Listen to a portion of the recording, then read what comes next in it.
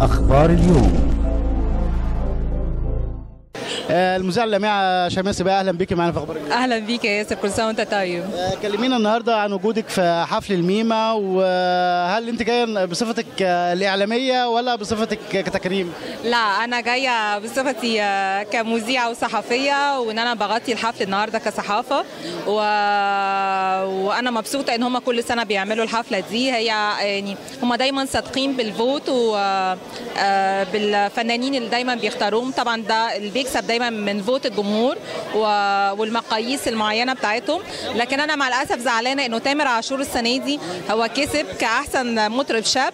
ومع الأسف آه، هو دخل في خلاف مع إدارة المهرجان إن هو كان عايز يطلع آه، المطرب الشاب دي هم درجات في درجة أولى والثانيه فأول درجة آه، المفروض يبقى عمل ثلاث ألبومات والدرجة الثانية عمل أكتر من ثلاث ألبومات. فهو شكك في نتيجة في النتيجه السنة دي بتاعة الحفل ومع الأسف هم هيحجبوا إعلان النتيجة بتاعته وهيبعتها له للبيت.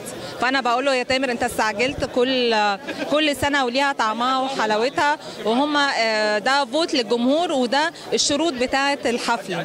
فهو مع الأسف آه، تامر آه، دخل في خلاف معاهم. يعني المي- الميمة معروفة إن هي بنزاهتها وإن في فنانين كتير بتقبل عليها. آه، شكوا ده؟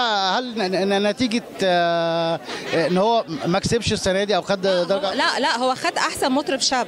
هو أخد أحسن مطرب شاب لكن آه، الدرجة الأولى. يعني آه، أقل من ثلاث ألبومات. آه بالظبط كده إن هو عمل ثلاث ألبومات لكن في درجة بعديها اللي بيعمل آه، فيما فوق زي تامر حسني. فهو عايز يتساوى زي اللي عمل أكتر من ثلاث ألبومات وهم هم ما لهمش دعوة. هو ليه دعوة بال- بالشغل اللي عمله.